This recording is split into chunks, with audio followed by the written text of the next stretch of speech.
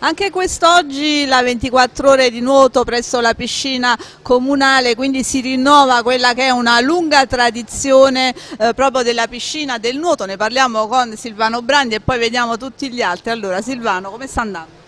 Sta andando normalmente, in effetti dopo le feste è sempre difficile portare gente in acqua, però insomma nel, nel pomeriggio, nella prima parte della serata sicuramente ci sarà molta gente.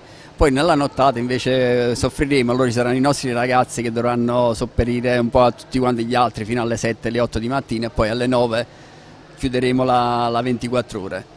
È una lunga tradizione. È una lunga tradizione e parte dal 1982, eh, la prima volta la facemmo alla piscina Norris a Carta Romana.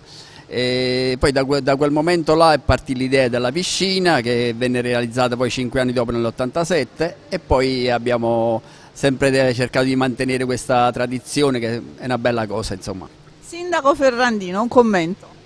È una bella iniziativa che si rinnova eh, anno dopo anno e eh, che eh, dà una veste a questa struttura che oltre ad essere un luogo dove ci si allena e si cerca di migliorare le prestazioni sportive dei giovani nuotatori eh, ischitani, eh, ma che diventa anche momento di aggregazione sociale. È proprio la, la 24 ore è proprio la sintesi di questo, di due, di questo abbinamento di questi due eh, elementi che a noi fa molto piacere eh, perché significa che una struttura comunale, una struttura, una struttura, collettiva viene valorizzata in maniera piena e in maniera diciamo, eh, soddisfacente per tutti. Rosa Sant'Angelo, a te chiedo come sta andando il nuoto in generale in questo periodo?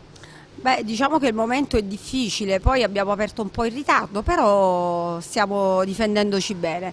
Solo che oggi vorrei che venissero un po' tutti per vedere com'è bella questa eh, manifestazione e quanto dà a ognuno di loro. Quindi vi aspettiamo numerosi, tutti però, dai piccoli ai grandi, fino a domani mattina.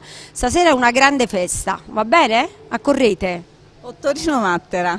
È un modo un po' inconsueto anche di passare il Natale, però considerato che la stagione balneare è finita da poco, è un modo anche per riprendere contatto con l'acqua.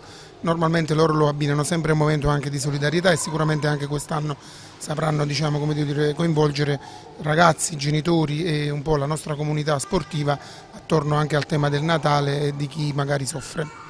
Questa struttura che è molto importante per l'isola e va sempre tenuta bene. Assolutamente, penso che siamo partiti con il piede giusto e ogni anno cerchiamo di metterci qualcosa in più, provando a migliorarla in modo tale da non lasciare strascichi e tenerla bella pronta possibilmente dicevo anche con il sindaco di magari rimanerla a lungo anche nel periodo estivo aperta perché potrebbe essere un modo per sostenerla meglio.